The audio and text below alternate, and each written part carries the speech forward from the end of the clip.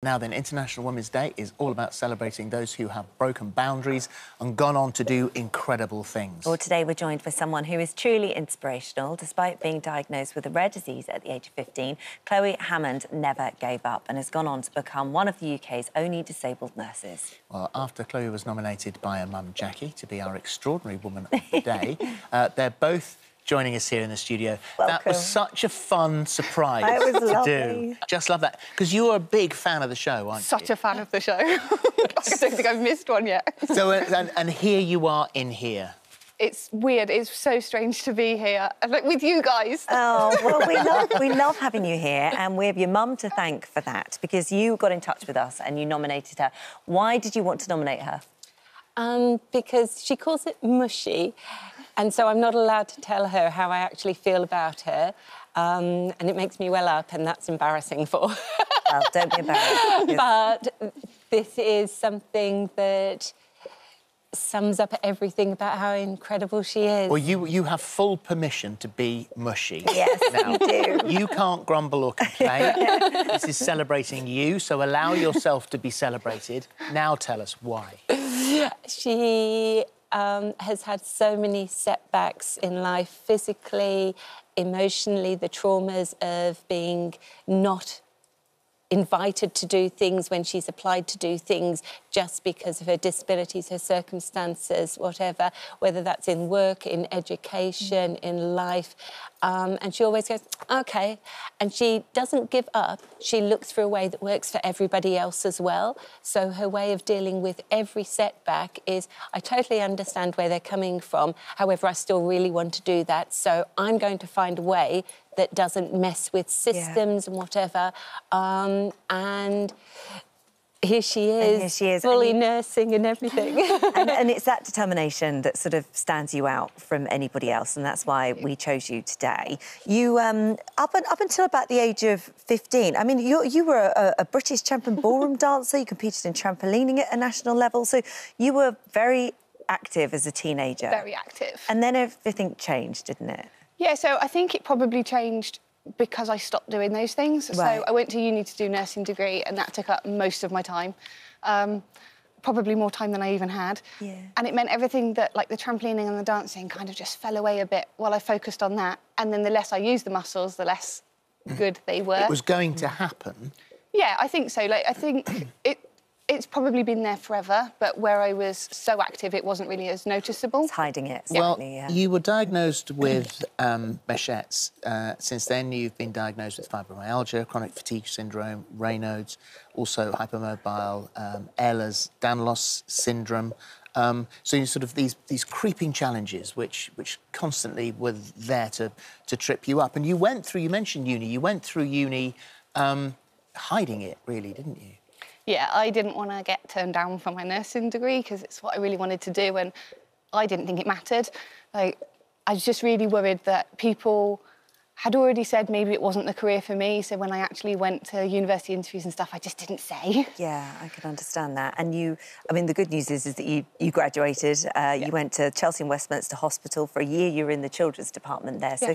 that's all fantastic. And then th- things progressed slightly, Yeah. and your health isn't in such a great place, and things are becoming more difficult. And you do um, have to move away from that. For a while, you got a, an admin job, didn't you? and that that was not the job for you. It's not for me at all. No. I'm a nurse. Like I trained to be a nurse. I don't want to sit behind a desk. So then, what did you decide to do? So I decided I wanted to get back into supporting people, and I didn't really know how to do it. I'd kind of been told I couldn't be a nurse anymore, so I didn't really know what to do. And I applied to be an activities coordinator in a care home because that sounded mm. like a great job, like arranging outings and trips and stuff. And I went and met the manager, and she was like, "Why are you even applying for this? You're a nurse." And I was like, "Well." I can't do nursing. I've got a wheelchair now. Like it doesn't work. And she was like, "Of course you can." So I went off and did a different job for nearly a year, and then she got in touch and she was like, "Right, you ready to be a nurse at my care home now?" And I was like, "Okay, sure." Isn't it amazing the difference that someone like that can Yeah, make? Definitely. To your outlook and your. Yeah. And so, where are you now? What is life like now? Um, so I am currently, we think, the only nurse that's actively nursing with a wheelchair and an assistance dog.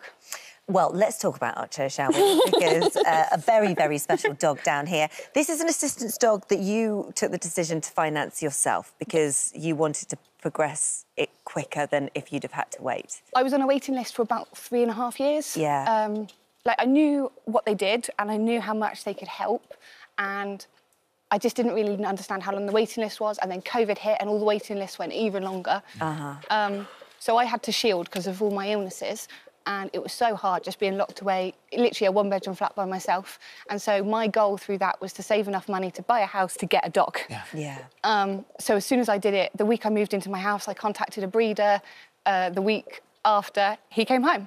So Well, that he's, was. uh, I mean, he's remarkable. I love the fact you, you were surprised that we knew his name this morning. I know. Um, I thought maybe you followed him on Instagram. well, we will now. Well, definitely will. Um, I- I- if you are wondering what the noise is, uh, he is loving this bone down here. That's the that's the noise that you uh, you can hear. Um, he is amazing. He, He is. transforms your life. It is expensive. it is expensive. So because we've gone down the route of buying a dog, um, especially while all the prices were high in COVID, just him as an eight-week-old puppy was two and a half thousand pounds.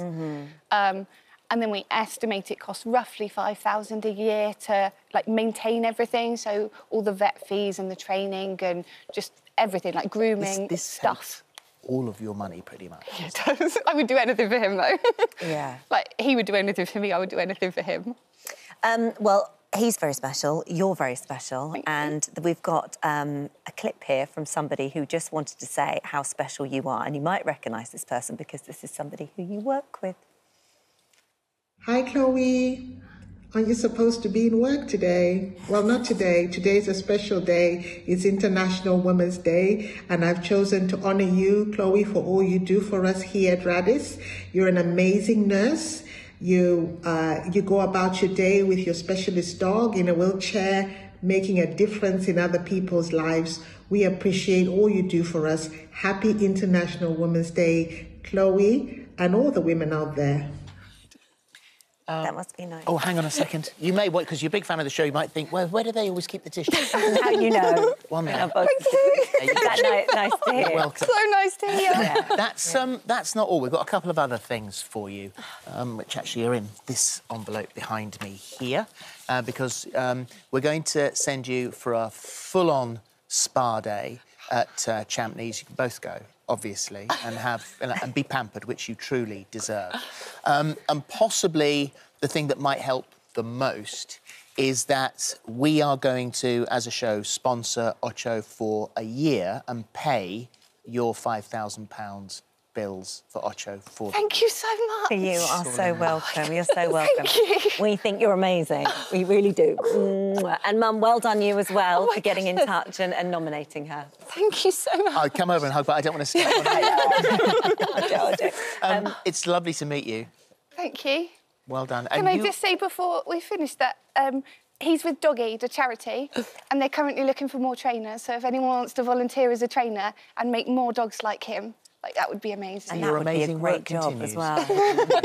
we'll put details out on our app. And actually, don't go away because I think we're also going to transform you into one of our catwalk models later on, if that's all right.